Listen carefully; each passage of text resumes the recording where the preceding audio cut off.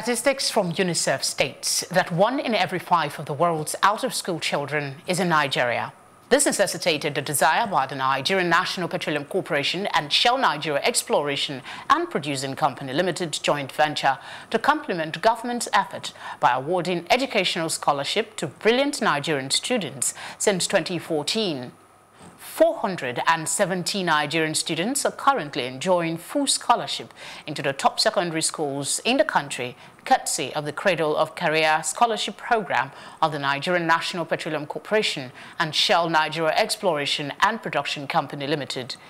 The managing director of Shell Nigeria Exploration and Producing Company Limited, Bayo Ojulari, who was represented by the social performance manager of Shell companies in Nigeria, Dr. Gloria Udo, said that the Cradle to the Career Program is part of the company's efforts to contribute to the education of young Nigerians.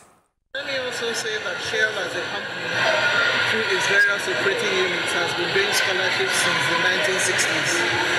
The Cradle to Career scheme we started uh, nationally in 2014 and before then regionally in 2010 for so long as we commit as a business, for so long as we continue operating here, we would continue to support educational uh, programs in the country because we see it in two veins as a way of human capacity development, both for other sectors and industry, and also as a way of giving back to society.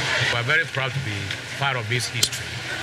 You must have listened to some of the comments during the ceremony when issues bordering on out-of-school children were raised.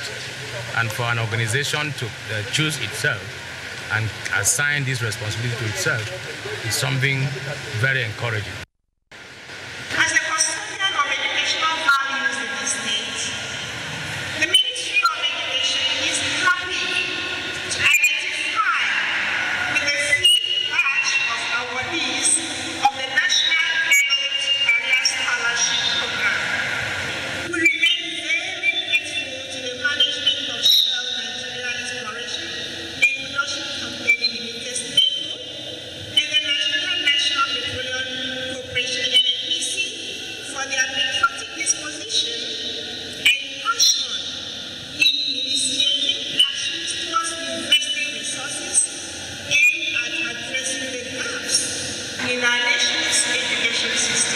The students that have not been able to grab this scholarship,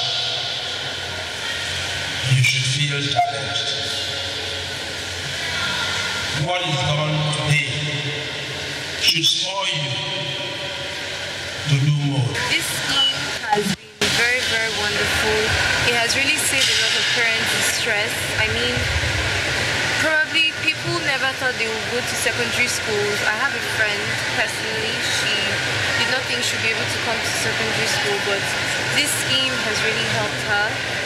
She's a beneficiary too. It's one of my primary school mates, which is my senior now, she was awarded scholarship. I was going to God night and day. I prayed, I prayed, I worked hard, attended lessons, different type of lessons. Then the day that my the manager of my primary school just called my teacher and told me that I was awarded the scholarship. I just fell on my knees at the spot there and thank God I cried. I, I was so I was overwhelmed.